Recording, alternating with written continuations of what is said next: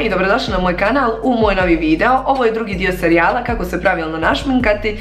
Tako da danas radimo jedan malo kraći video, ali e, to je nešto što je onako okvir lica i što nam je dosta bitno. Tako da danas radimo dakle obrve i ajmo odmah da počnemo s tim. Dakle, u ovom dijelu radimo kako pravilno nacrtati obrve. Moje su već sad uh, malte ne prekrivene puderom dok smo nanosili sve to. Tako da, e, ja koristim dakle ovu Nikosovu paleticu, mada e, realno isto je kao i svaka druga paletica sjena za obrve. Ja uvijek koristim dakle sjene za obrve s obzirom da mi izgleda nekako prirodnije i meni se lično više sviđa jer ukoliko nanosim olovkom za obrve, nekako obrve izgledaju masno, ali ne izgledaju na svima, ali na meni izgledaju. Tako da ja preferiram na sebi da koristim sjenila za obrve. Ovdje dakle imamo jednu svjetliju nijansu i jednu tamniju nijansu i ovdje imamo gel. Tako da, na početak obrve naravno nanosimo svjetliju nijansu, to će na početku izgledati kao kockica, ali poslije ćemo to izblendati lijepo da nam ne ostane tako.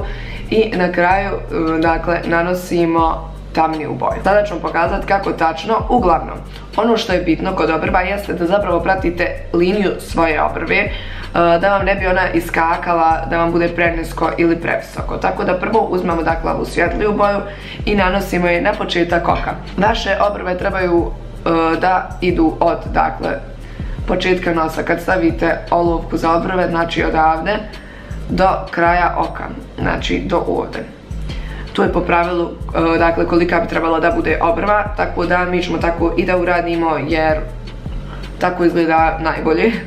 Ja ću uzeti samo malo ogledalo, ovdje ću ga staviti sa strane e, da bi i vi ovako bolje vidjeli moju obrvu, a da je mogu vidjeti i ja dok je radim. Pratimo i donju i gornju liniju naše obrve. Nakon što smo propratili i gornju i donju liniju, samo ćemo taj dio da spojimo kao što sam rekla u kotkicu pa ćemo ga poslije izblendati jer je lakše sad kad ga spojimo da ga poslije izblendamo nego da nam bude e, presvjetlo. I dakle tu nam je početak obrve i isto radimo i sa drugom obrvom.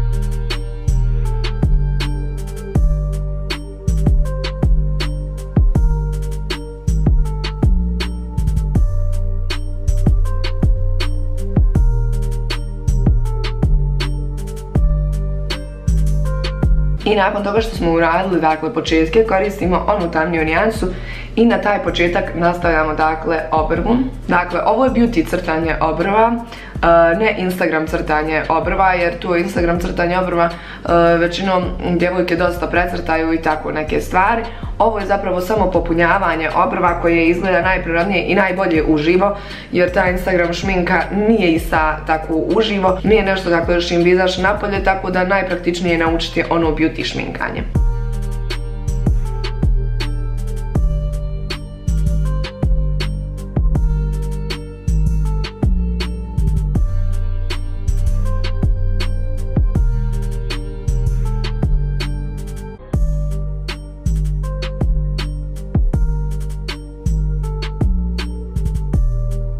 I dakle, nakon što smo popunili obrve, sljedeća stvar e, što radimo jeste da uzimamo jednu četkicu, ja uzimam pljesnatu četkicu i samo blendamo počet da ne bi bile ovako oštre linije nego da budu izblendane. To radite polako, dakle e, najsitnijim mogućim pokretima e, četkice zato što ne želimo da razmažemo ovu obrvu nego samo želimo da je polako izblendamo da bude lijep prijelaz i blendate prema unutra da se spoji sa tamnim dijelom.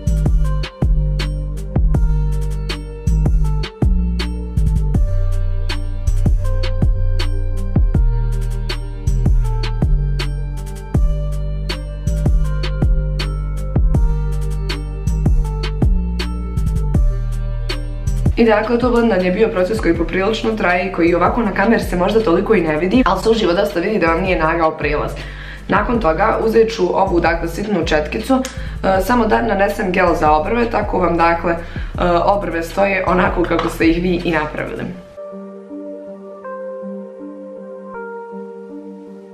Dakle, on služi da vam ne bi dlačice iskakale sa strane, da vam ne kvare oblik obrvi. Mada ukoliko ste pratili svoju liniju obrve, one svakako neće iskakati, ali ja to opet bolje je nanijeti i gel da imamo. I nakon toga ćemo da uzmemo uh, korektor i malu, dakle, pljosnatu četkicu da možemo da isječemo obrvu. Proizvod, dakle, sa ovog kupimo na četkicu pokupimo poprilično malo proizvoda da nam ne bude previše, da nam ne bi ostalo previše bijelo. I sad, pratimo dakle, liniju ispod obrve da je isjećemo lijepo zato što će nam tako naš oblik obrve biti još bolji i izraženiji. Tako da ajmo sad to da uradimo.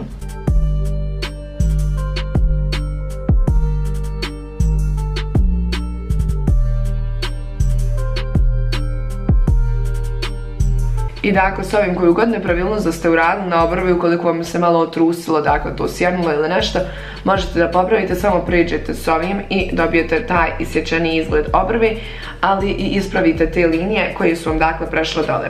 I ne brinite se ukoliko vam se dakle e, vidi taj proizvod i meni se vidi ne toliko na kameri, ali kad nanesete sjenla i stavite na taj dio highlightera to se neće vidjeti ta linija, samo će vam obrva izgledati bolje. I dakle nakon toga isti postupak ponavljamo i iznad obrve.